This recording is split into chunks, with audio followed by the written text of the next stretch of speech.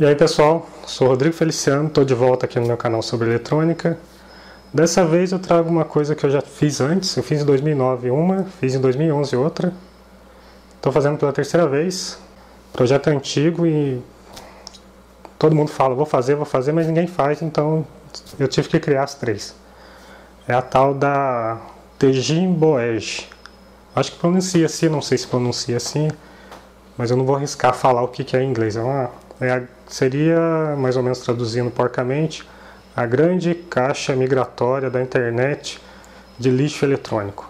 É uma caixa com componente, com, com coisas que vai de uma casa para outra. Eu criei as duas anteriores, estou criando essa, você, eu mando para alguém, essa pessoa recebe, tira alguma coisa da caixa, coloca alguma coisa na caixa e passa para o próximo. Funcionaria assim se as outras duas não tivessem se perdido no caminho, né? Não foram entregues, as outras duas estão paradas por aí. A segunda tem um mapa, eu criei um mapa no Google Maps com o trajeto dela, mas está parada também. Então tá aqui,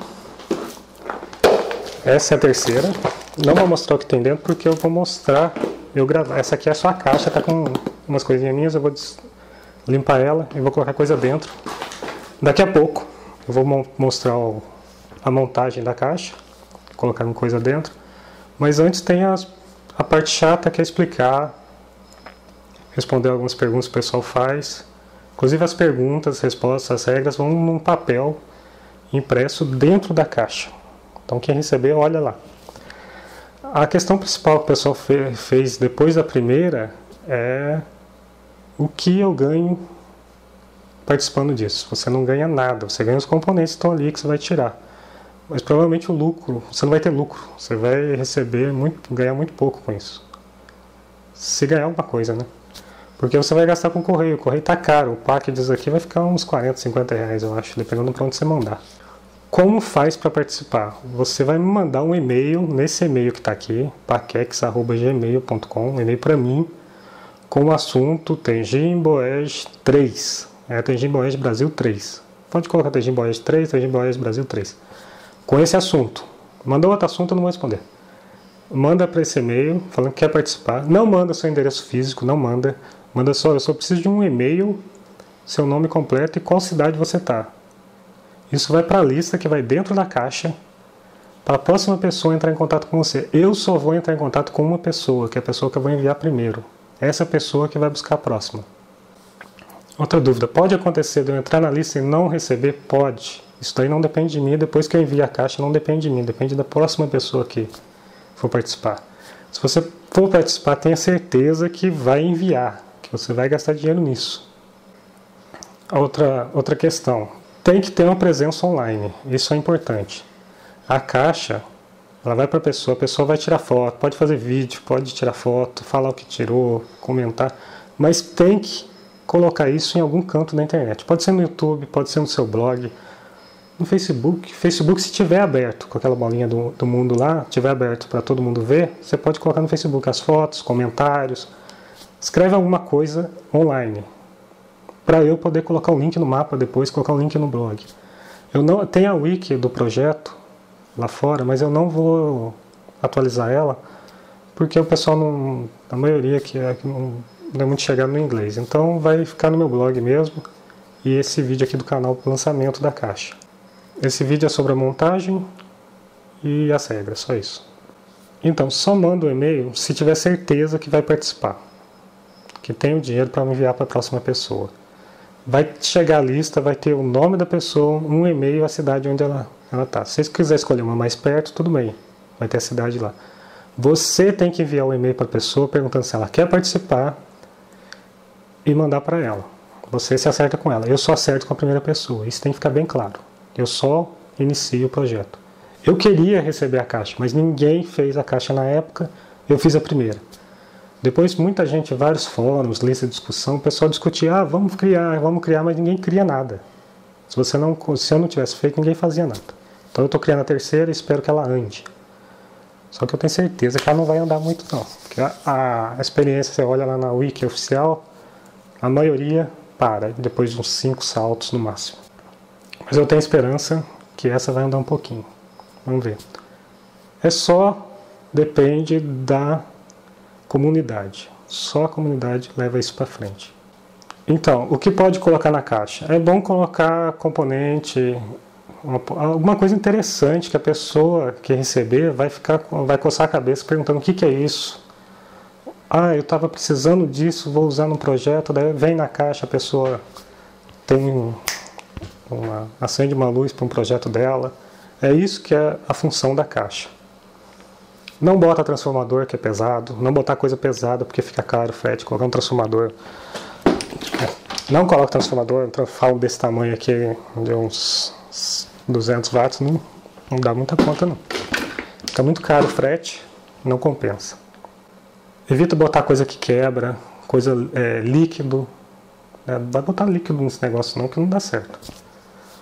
É uma coisa que vai ser, a pessoa vai usar o que desperta a curiosidade da pessoa. É, eu pediria, mas eu não podia pedir as coisas aqui. Você coloca o que você quiser, mas eu pediria para não colocar é, placa de computador, aquela placa de rede que está encostada lá. Ninguém vai usar aquilo lá.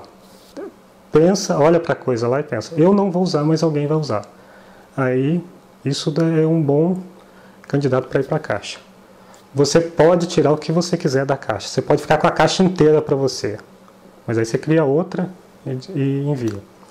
Você pode pegar a caixa, dividir em duas, três e mandar para três pessoas. Pode. Só que você vai ter que colocar as regras de novo nas três, dividir e criar três listas. Tranquilo. A caixa pode ficar para você? Pode ficar para você e você pode parar, matar o projeto, não tem problema. Na Wiki tem um lugar lá que é para anotar quem que ficou com as caixas, mas eu não, eu perdi minha senha lá, não, resolvi não, não preencher aquilo lá. Mas é de você, né? Você quis participar e não, não continuar, e a culpa é sua, não é minha. Eu só iniciei o projeto porque ninguém iniciou. Começou em 2009, a outra em 2011, agora só em 2017 ninguém criou outra caixa aqui no Brasil. Complicado. Se tiver qualquer problema, me avisa pelo e-mail, enquanto a caixa estiver. Me avisa, que eu, eu dou um jeito de, de correr atrás. Pode demorar para receber a caixa? Pode, isso não depende de mim. Depois que eu iniciar, iniciar isso, a caixa segue o caminho e a responsabilidade é de quem receber. Pode demorar, tem correio que demora, mas eu gostaria que ela andasse mais que as outras. Já falei demais, as regras estão dentro da caixa, as regras vão estar no, no post que vai ter esse vídeo no blog, vai estar o link aqui embaixo.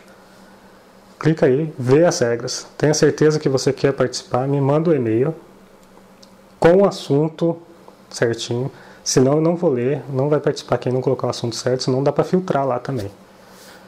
E assim que eu enviar, vai estar no blog o envio quem, e quem que vai receber.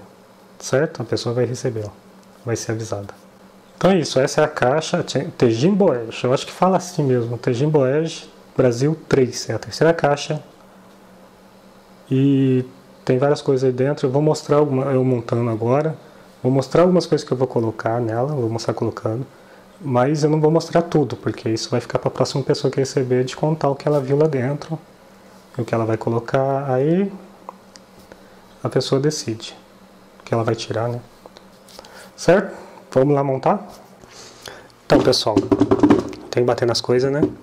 Essa caixa está vazia, eu vou começar a montar ela agora. Primeiro, comprei isso aqui uma vez, eu não, não tenho uso para isso, mas são amostra de resistor da Philips. Olha que legal. Vai pra caixa. A amostra capacitor também, tá meio acabado, mas vai também. Na primeira e na segunda caixa eu coloquei umas revistas. Nessa aqui eu colocar esse manualzinho da, da IBRAP, de 74, com transistor. Tem os BC, dois BC da vida aí, 547, 548, tem as curvas, tudo. É só a capa que é em português, o resto tudo em inglês. Mas tem as curvas de projeto, é legal esse manualzinho. Eu tenho um manual de instrução de, de montagem dos da IBRAP também. Como eu não vou usar, eles vão para a caixa também. Deixa aqui. Não vou colocar mais papel, porque senão fica muito pesado. Tem essas coisinhas aqui. Não vou abrir. Quem receber vai saber o que, que é. Deixar um aqui outro aqui. Eu organizei os componentes aqui nessa caixinha. Coloquei uns seisinhos, os redutor, a chavinha de deep switch aqui, conectorzinho, transistor, os BF da vida. Deixa eu ver isso aqui, quer ver? Transistor 2 pinos. Não é transistor 2 pinos. Quem receber, dá uma olhada. Tem muito LED azul aqui em casa, eu estou me livrando dos LED azul. Então tem LED azul, LED amarelo, display, LEDão vermelho. Esse LED eu não sei cor que é, tava ali. Tava ali separado. Não sei que cor que é, não lembro. E pra não falar que eu só coloquei LED, eu coloquei uma lâmpadazinha aqui. Certo? Só uma lâmpada. E não fecha. Ah, mas isso é uma caixa de coisa velha. Então, vou mandar uma placa velha. Isso aqui é filtro, né? Filtro passivo. Tem capacitor variável aqui, trimmer, trimmerzinho diferente. Todos esses capacitores de vermelho são de 1%, capacitor de precisão. É bom para calibrar capacímetro, como você faz capacímetro com microcontrolador, esse é capacitor de 1% de precisão, legal. É difícil de achar e aqui tem bastante. Quem quiser tirar, vai na caixa. Vou colocar uns adaptadores de plaquinha para sair aqui. Mas só tem dois que sobrou. Colocar uns BC da vida. Então precisando desacoplar a placa. Capacitor para desacoplamento. Isso é, é capacitor, não é resistor, tá? Quem receber isso aqui fica de olho que é capacitor. Parece resistor, mas é capacitor. O valor, descubra um adaptador USB. Eu nunca usei esse aqui. Pra que, que será que é esse aqui? Não tem cabo pra isso aqui não. Uns seisinhos aqui pra fechar uma coisa. E mais LED. LED faz bem. LED quadradinho. Uma lanterna velha. Uma lanterninha de lâmpada. Para iluminar seus caminhos. Um medidor velho. Chavinha daquela de painel com número. Que legal. Boazinha essa chave. O pessoal gosta de placa universal. Vou mandar a placa universal que eu uso, eu só uso dessa aqui. Mas tem gente que prefere essas daqui, então vai também. Mas aqui eu não gosto porque ocupa muito espaço. Não fica bom a montagem disso aqui. Igual de protoboard, eu não gosto não. Eu prefiro essa aqui. Vamos lá, diodo de germânio, resistor de potência, que é isso? Capacitor 2,4 PF, adaptador de, de tensão para I2C, dois relé, dois relé. Ele é novinho, 12 volts. Ah, vai um monitorzinho de zero central, motor de passo, umas plaquinhas velhas. Eu tô achando que vocês não vão, vocês precisam desacoplar mais, então eu vou mandar um um rolo de capacitor 10 nano para desacoplar, tá? Então, pessoal, é isso aí. Eu vou colocar mais coisas, mas eu não vou mostrar aqui, porque é para a pessoa que receber descobrir. Então, não vou colocar tudo agora. Eu vou colocar, mas não vou mostrar na, aqui no vídeo. Isso aí vai ficar para quem receber. Certo? Então, curte esse vídeo e principalmente compartilhe esse vídeo, espalhe a notícia, porque a caixa vai andar. E seguindo as regras, é só mandar um e-mail. Se tiver realmente afim de participar, se inscreve lá pelo e-mail. E se não está inscrito no canal, se inscreve aí também. Pode comentar aí também se tiver alguma dúvida. Comenta se tiver dúvida. E manda um e-mail só se tiver certeza você vai participar. Certo? Vou terminar essa caixa, fazer a documentação dela, coisa aqui, montar a lista, essas coisas certinho? Deve seguir semana que vem. Até mais, pessoal.